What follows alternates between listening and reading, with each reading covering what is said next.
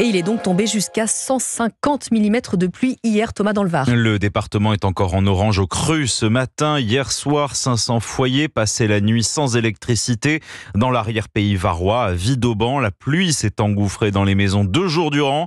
Nina Pavan est retournée voir les sinistrés pour Europe 1. Ils ont eu à peine le temps de chasser l'eau de leur salon, de racler la boue, qu'il fallait déjà faire le bilan des dégâts pour les assurances. Un petit pavillon de plein pied en Provence, c'était le rêve de Monique et Jean-Pierre. 70 ans.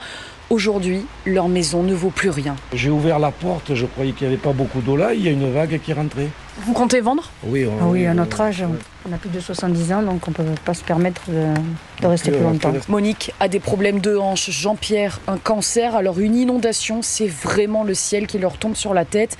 Et après le choc, il faut tout de suite se ressaisir. Ce matin, j'ai appelé mon assurance. Là, j'attends en début de semaine où euh, les experts vont venir voir un peu ce qui se passe. Leurs voisins Nathalie et Nicolas, eux, ont pu sauver quelques meubles au premier étage et surtout... J'ai pris les photos de mes enfants. Et ça, je savais que j'allais jamais les retrouver. Pour eux aussi, le souci maintenant, ce sont les assurances. Ils nous ont dit de, tout chiffrer.